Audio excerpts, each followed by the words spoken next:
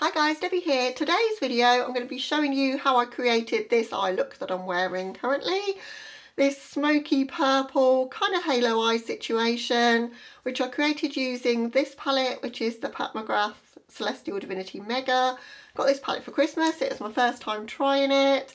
So if you want to see how I created this eye look, we did run into a few issues and I showed you how I corrected them then why don't we just get into it?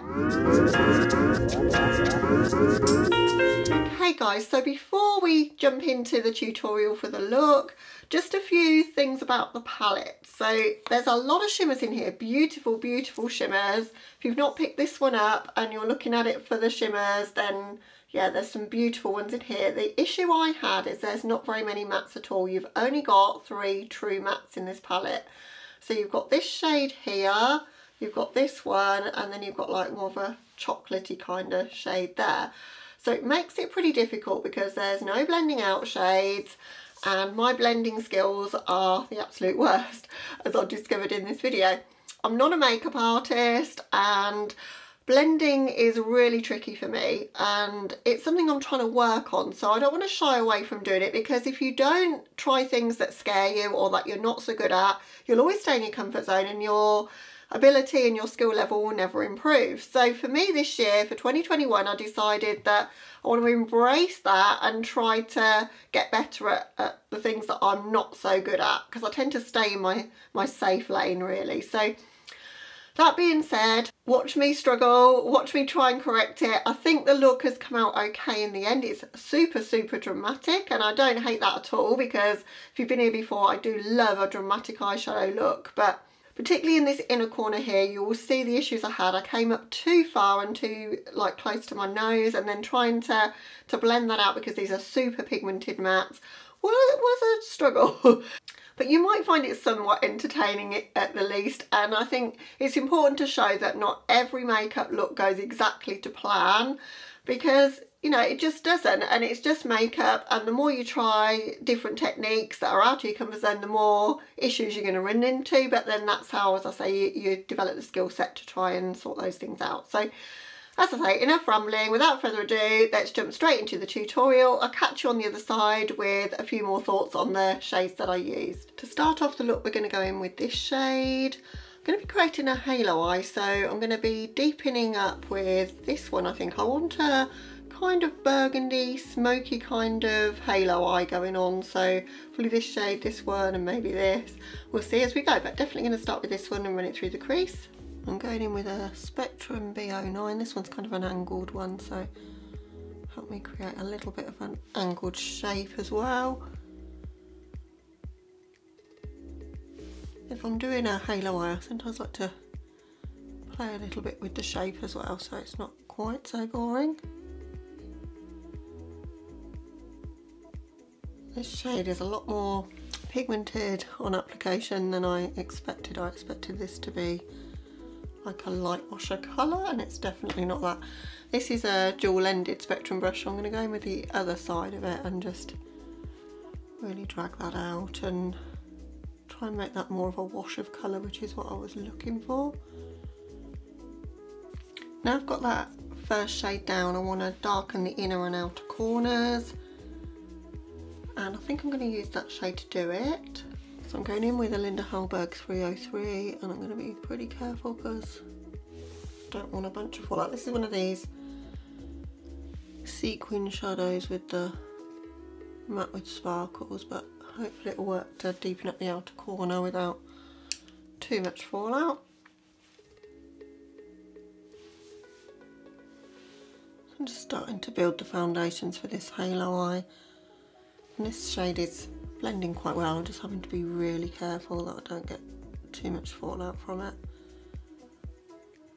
Just packing that on to start with and then using the tip of the brush to blend it into the matte that we've got in the crease.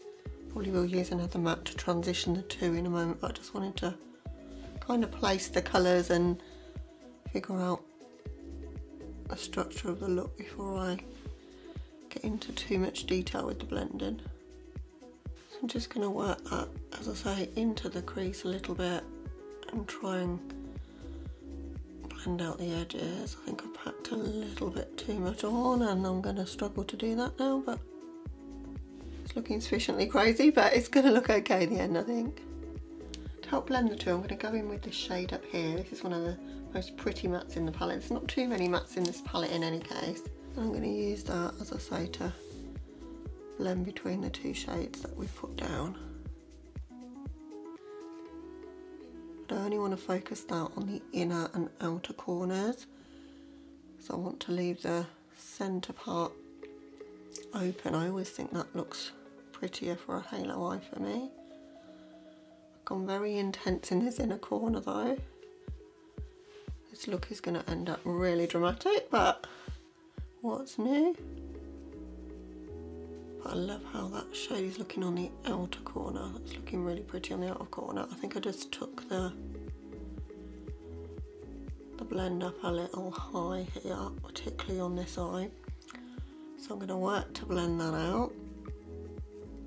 So I'm just using a bit of that kind of raspberry coloured deeper matte to really smoke out this outer corner and to give us that gradient between the transition shade and that smoky colour on the inner and outer of the lid.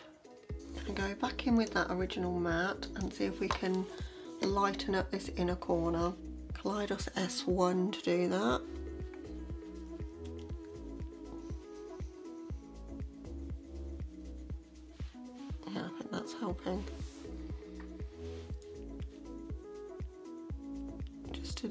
Diffuse this area towards my nose, but I'm not hating it. I think it's very dramatic. I just uh, bring it down just a tad. So I'm really using circular motions, really working that product in. Try and get a bit of a blend here. I'm not taking any additional product now and I'm just going to spend a fair bit of time blending until I'm happy with how this corner is looking. It looks top heavy at the moment because we haven't done the lower lash line but I think it will all come together in the end. It's just probably one of the most scary looks I've done at this point. I'll carry on adding a little bit of depth to the outer corner and just bring that up into my crease a bit more so I've got that raspberry matte again I'm just adding a touch more of that.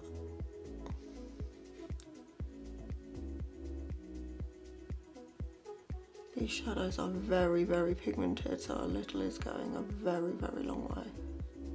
And then just blending the edges again. Gonna run a bit more of this raspberry matte onto my lower lash line. Just using a pencil brush to do that.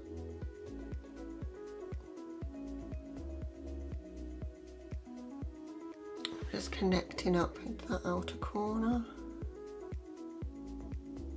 And I'm only going to go about two thirds of the way across, otherwise this is really going to end up super dramatic. Going to lay down the lighter matte one we used in the crease initially, just in this inner part. Fade the two together. And I'm just going to work on just blending this lower lash line out with the brush we started with. Still think I've got some patchiness going on here, so back in with that raspberry matte. I just really want to try and get better at blending this year. I don't think it's the shadows, I think it's the way I work in this outer corner because I know that Pat McGrath has an amazing formula. So it's not the shadows, it's me, and I think I just got to figure out how to get that blend right, which is something I've struggled with ever since I started doing makeup really. I'm not a makeup artist by any means and I've learned everything I know by watching other people on YouTube so sometimes I try things and they work and other times not so much, but I think we're, we're as good as it's going to get today anyway. So now I'm going to go in with NYX Glitter Primer just for the centre part here and right up into my crease. I'm just, as I say, taking it in that centre part, not on the areas we've laid down. I'm to do one eye at a time so it's still tacky and going to use this really deep shimmer here, this purple one, just in the inner and outer part but not going too far in. And that's pretty intense so I'm going to try and keep that just on my lid. And then for the centre part I want to use this shade. It's a shifty shade from sort of green to purple so I think that'll look cool in the centre. Love a duochrome shade like this. Anything that shifts blue brown or green purple, all those sort of shifty shades are really pretty. So I'm taking that right up into the crease so that it gives me the illusion that I've got more lid space than I actually do. That's got such a pretty glitziness about it, it's gorgeous. Just gonna quickly repeat the same steps on the other eye. Just gonna work just to blend that just across the top there, just to diffuse out that shimmer just slightly. So I've taken the shimmer incredibly high, but I think it does make my eyes look way bigger when I do that. I want to highlight my brow bone a little bit. I'm just looking at the options we have for that and I think probably this shade will be the best. I'm just taking a very small amount of that though, just in the arch of my brow, just underneath my, my eyebrow there. Just for an extra little bit of glitz when I turn my head. That's super pretty. The shimmers are beautiful in here. I think the mattes are quite intense though and there's only a few options. You've only really got three true mattes and they're all quite intense of a shade. I'm going to take that same shade we just used for the brow bone in the inner corner. I'm going to pat that on a brush and then spray it with Fix Plus.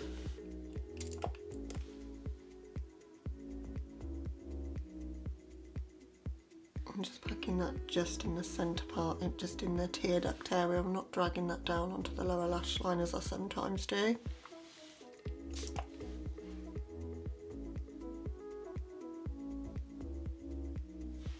Just wanted that just little spot of lightness in the inner corner. Okay, so that's the look to this point. Just going to hop off camera for the finishing touches. Be back with you to show you the finished look and wrap up my thoughts on the shades that I've used in the palette so far. Okay guys, so here's the finished look. I just did a baby wing, stayed very reserved with that for me. I love my big wings, but I just did a little tiny wing with the Epic ink liner from NYX. Then in my waterline, I've got in with Woodstock from Urban Decay, one of the 24-7 Glide on pencils kind of been neglecting those and they are so good so decided to use that one. I thought it was the perfect pinky shade to go with the look. For lips today, got in with an old favourite because I wasn't super confident about the eyeshadow. Thought I need to pair it with a lip I know I love. And this one is by Anastasia and it's the shade Vintage. It's getting a little bit dried up now because I've had this for, got to be two years, but I really, really love this lipstick. There's not too many shades out there of liquid lipstick that are this kind of pinky purpley shade that are just the perfect kind of tone between pink and purple. So I do really love this one. It's my absolute favourites. So yeah, we had some issues, didn't we, in the tutorial, as I said in the intro. And I just want to talk a little bit more about why I struggled so much. As I say, there's very few blending out shades. That's the palest shade in the palette. I wanted to stick to the palette. If I use this again, I'll probably bring in something lighter to help me blend. But that's a beautiful shade, but it's way more pigmented than I expected. And then I deepened up with this shade, I think. Yes, I did. Which is one of those shades that's like a sequin shadow. So quite a bit of fallout with that, but it was the sort of tone that I wanted. And then, as you saw, things quickly kind of run away with themselves because I went too far up with that and then tried to like tone it down with using the other matte which is beautiful this matte here this raspberry shade can't wait to use that as more of the focus for my look because I think the tone of that is stunning Uh, what else did I use? Oh, on my lid, this shade here that looks green as I'm holding up the palette here is like a shift from green to purple and it's just absolutely beautiful. I love duochromes like that. And then I didn't really have an option for brow bone highlighter in a corner that was really quite right for me, but I used that one because I thought that was the best option. And, you know, I think the look has come out okay. I'm not like loving it, to be honest, but I think it looks okay. I wish I'd have done something different, but there you go. That's sometimes what happens. But tomorrow's another day and I can do something else with this palette. Now it has got lots of beautiful options. It's just the lack of mattes that kind of make it a lot more difficult to work with. So I wouldn't say that this is in any way beginner friendly. You know, if you just want to pack like a beautiful shimmer over the lid or do a graphic kind of look with shimmers, I think this palette will be perfect for that. So that's what I'm going to do next time. I think I'm going to do a big winged out look and I'm going to pack some of the, the shimmers all along that look and do something very editorial with it. I think that could be a lot of fun because there's some beautiful shimmers in here. That gold shimmer is absolutely stunning and there's lots of different formulations of shimmers. There's some that are more topper shades, there's some that are more like that was just more of a traditional shimmer. You've got the duochrome as I say there. I love the red kind of shades you've got in here. Mix of reds, purples and, and pinks are, are stunning in any case. So not that I've got it, but I've just got to figure out like how with my makeup style and how I normally do things, which is deepish or mid-tone matte in my crease, blend it out with a lighter shade, pack something deep in the inner corner. That's kind of my go-to it was very difficult to achieve with this palette in my experience today but maybe I was just having a bad makeup day because I know that Pat McGrath has awesome quality. I mean they're ultra pigmented. As I say blending is not my strong suit. Practice makes perfect and by the end of this year I hope to be so much better at it than I am now. So expect to see a few more fail videos like this while I get the hang of it but I love to share my makeup journey with you guys and I think I might do a video soon showing you some of my looks when I started my Instagram and kind of roasting them because honestly I've come such a long way. So I encourage you guys if you're struggling with any makeup technique just don't give up and keep trying. We will get there together. But that's my thoughts on the palette so far and obviously you've seen me create the look and if you've got better blending skills than me you'll probably be able to recreate it. But thank you so so much for watching guys. I do appreciate it. And if you're new to my channel and you enjoyed this video and you want to think about subscribing then I would love to have you. Other than that guys hope you're having a lovely day or night wherever you are. Catch you in the next one. Bye guys